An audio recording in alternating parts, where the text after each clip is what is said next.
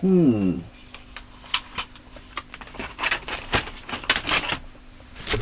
So, as I begin to process another mystery skanky lump, um, quite a few people have said they would like a comparison using this hokey cokey system I got here. For two bits of wood, one gets pressure and one don't. So, see what I can find.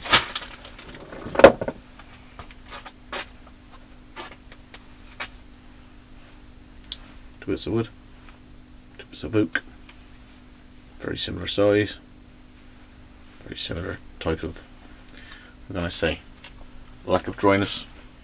And I'll put one in the thing, pump on a little cranky, and then the other one I'll just drop in and we'll come back tomorrow and see if after I take it out how long it takes to dry in order that if I take a section down through now if, if I um, cut it down through hopefully we'll see if there's any difference. I just I just think if I'm getting all that air out it's bound to be going on that's better than just leaving it to sink. So set up my hokey cokey system. Because that's all it is. Just that that that that that goes in there. Eeny meeny miny mo. Got to be the one in the right hand. No that one. That's the one. It's going in there and the other thing is I need to um, weigh it down with something at some point but it's it fits so hey it'll do. Put that down there. Put that on top of there.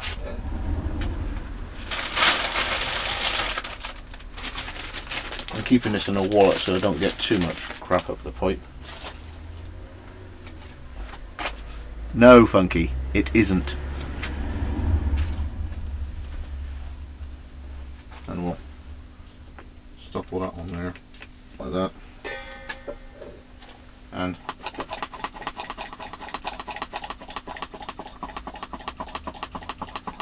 yeah looks like you're gonna have to um, weigh it down with something metallic.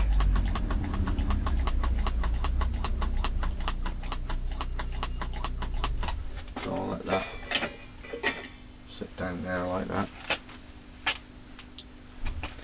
the weight discs are a bit um what's the word? Big.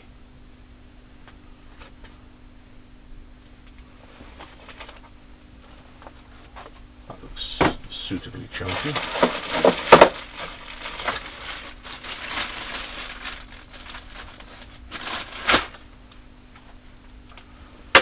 A disc with holes in it. I'm going to find something in minute in order to put it on there and weigh the thing down. See in a bit.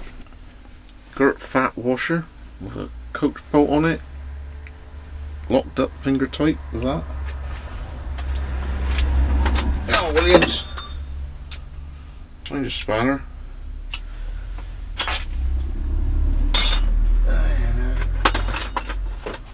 Everything will be organised in here one day.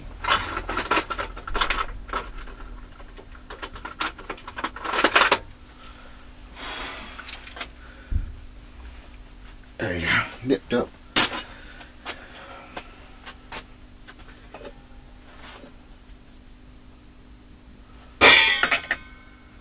Good bit of room.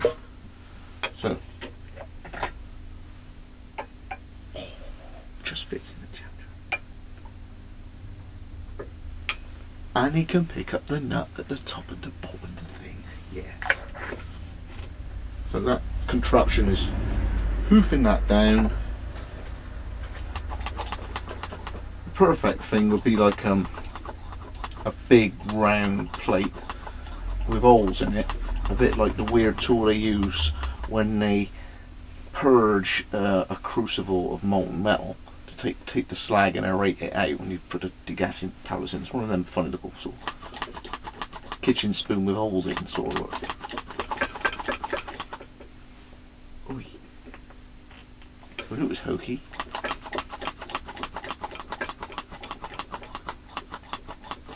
Every time I do that, there's a big bubble comes out of it.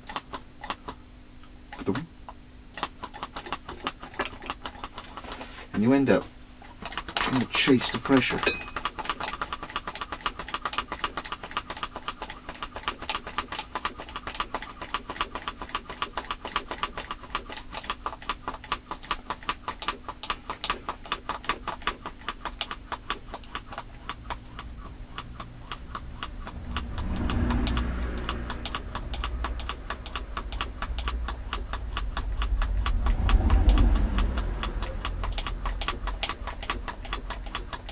Like something's brewing in there.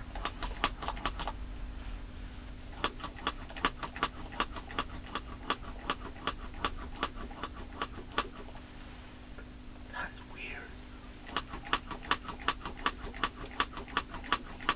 Right.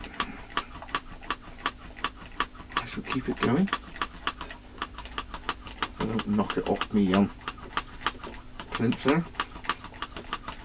I'll see you in a bit. Did this eight times yesterday.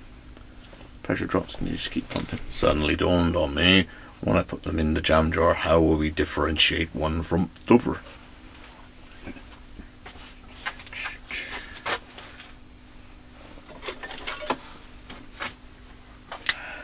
Because the one that hasn't had the vacuum will have ever so slightly beveled shoulders at one end. So the one that hasn't had the vac has had the corners knocked off. My Columbia River Knife Tool Prowler. Put that there. Carry on pumping baby.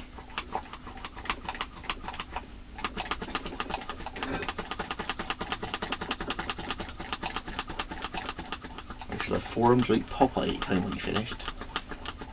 Either that or RSI.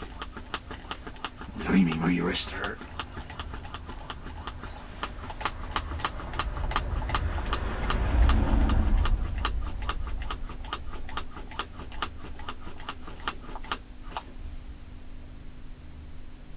I put that on my finger the other day, so I pumped it and then felt as to how much suction it felt like on the end of my finger on the end of the pipe. It's not that big. I bet if I put my mouth on it, I'll probably be getting about 25 millimeters of HG.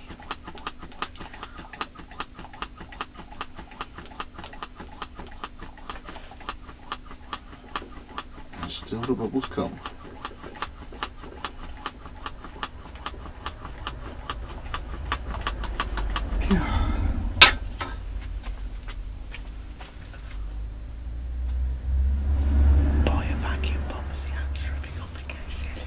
I've noticed is the levers, because there's two pieces of metal, might be able to get you close.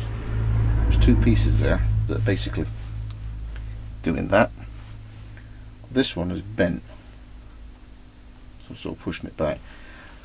What I'll end up probably doing is, if I can make it last, is drill a hole through the two pieces and bolt them back together to keep them two, because he's just going drift.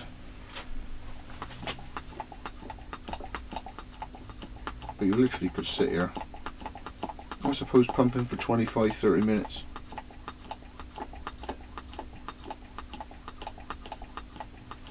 And I'm getting bubbles up into the pipe now. How that's getting up into the pipe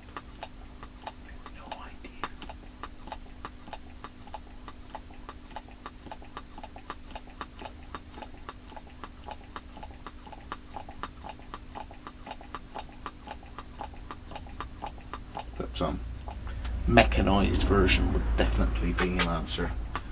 If you've got more than 25 pound I expect um, for a ton you can get a good in sort of motor.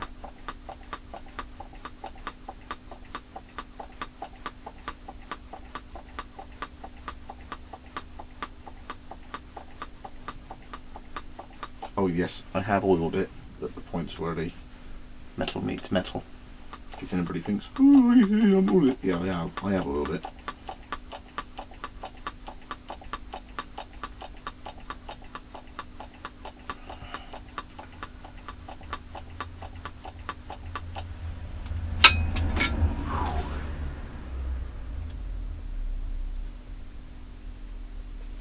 some strange fermentation tank.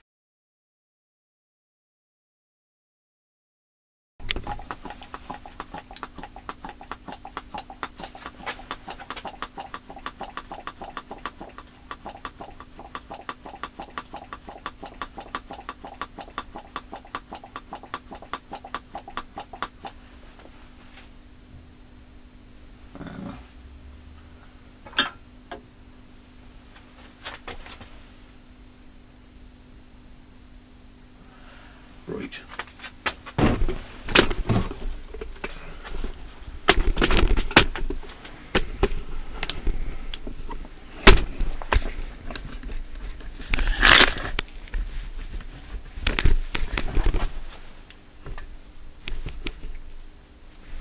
So, what we do now is push this plunger and then it's all equalised. There goes the gauge and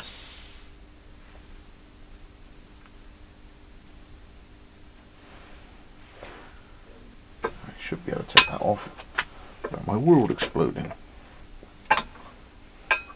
Cool.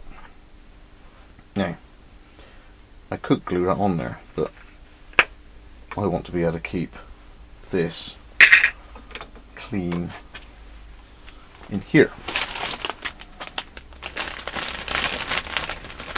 So, so it dies a death, probably tomorrow. Put that there like that and the one with the chamfered off shoulders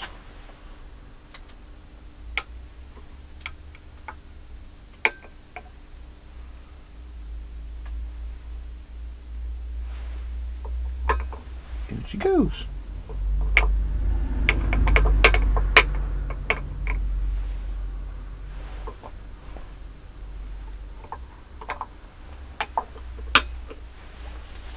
yeah Frothy McGurty.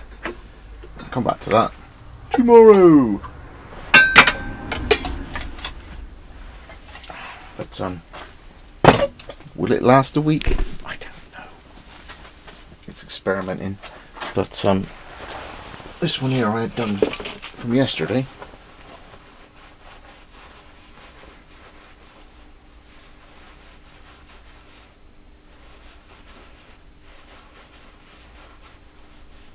Just looks different.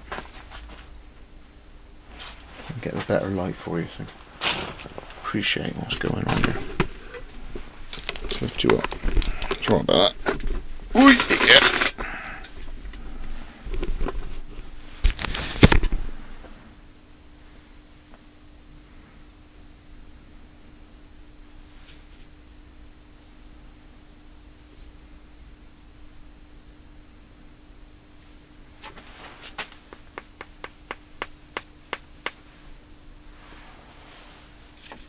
More.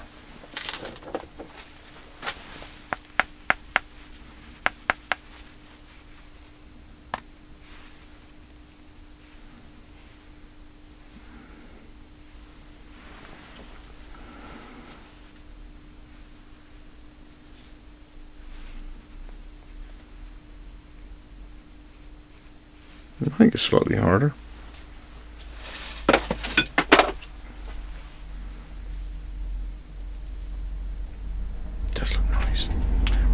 Joining me again, and uh, we'll see the um, scientific results tomorrow. Hopefully, they're a bit different. I'm sure that the oil will go in deeper, better than if it was just soaking. That's my brain. Otherwise, why would that process be there? I know it's a bit